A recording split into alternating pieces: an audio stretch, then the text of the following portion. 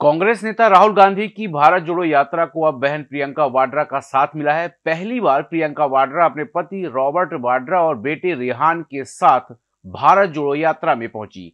इस दौरान बड़ी संख्या में कांग्रेसी कार्यकर्ता भी भारत जोड़ो यात्रा में शामिल हुए हैं। मध्य प्रदेश में राहुल गांधी की भारत जोड़ो यात्रा को लेकर ज़बरदस्त उत्साह देखने को मिला। इस यात्रा के दौरान राहुल गांधी का हुलिया एकदम बदल गया। देखना यह होगा कि राहुल गांधी की यात्रा राजनीति को कितना बदल पाती है। राहुल गांधी की भारत जोड़ो यात्रा का अठहत्तरवा दिन है। आज सुबह उन्होंने खंडवा से यात्रा शुरू की। अगले दस दिनों में यह यात्रा राज्य के सात जिलों से होकर गुजरेगी।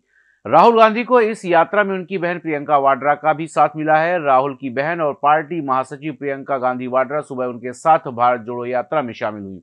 इस दौरान प्रियंका गांधी के साथ उनके पति रॉबर्ट वाड्रा, बेटे रेहान वाड्रा भी इस यात्रा में शामिल हुए। सात सितंबर को शुरू हुई इस यात्रा ने अपना महाराष्ट्र चरण पूरा कर लिया है और अब भाजपा शासित मध्य प्रदेश में प्रवेश किया है। मध्य प्रदेश की पाँच लोकसभा क्षेत्रों में भारत जोड़ो यात्रा जाएगी। इसमें खंडवा, खरगोन, इंदौर, उज्जैन और देवास शामिल है। इससे पहले राहुल गांधी ने बुरहानपुर में लोगों को संबोधित करते हुए कहा है कि हमने देश में फैले डर के माहौल के खिलाफ इस यात्रा की शुरुआत की है। राहुल गांधी के साथ पूर्व सीएम और कांग्रेस प्रदेश अध्यक्ष कमलनाथ की जुगलबंदी भी देखने को मिली। सांसद जयराम रमेश ने प्रेस कॉन्फ्रेंस में कहा 26 तारीख को राहुल गांधी और कांग्रेस के राष्ट्रीय अध्यक्ष मल्लिकार्जुन खड़गे महू में एक जनसभा को संबोधित करेंगे। ये बाबा साहब अंबेडकर की जन्मस्थली है।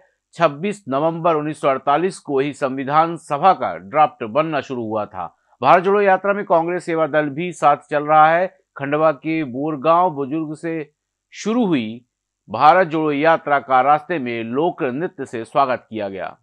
भारत जोड़ो यात्रा में राहुल गांधी और प्रियंका के साथ राजस्थान कांग्रेस के कद्दावर नेता सचिन पायलट भी चल रहे हैं। वो खबरें जो आपके काम की है। वो खबरें जो आपके लिए ज़रूरी है। हर आम और खास से जुड़े मसले। हर मसले का सटीक विश्लेषण। हम करते हैं सत्य का अन्वेषण। दखल न्यूज़। आपके हक में।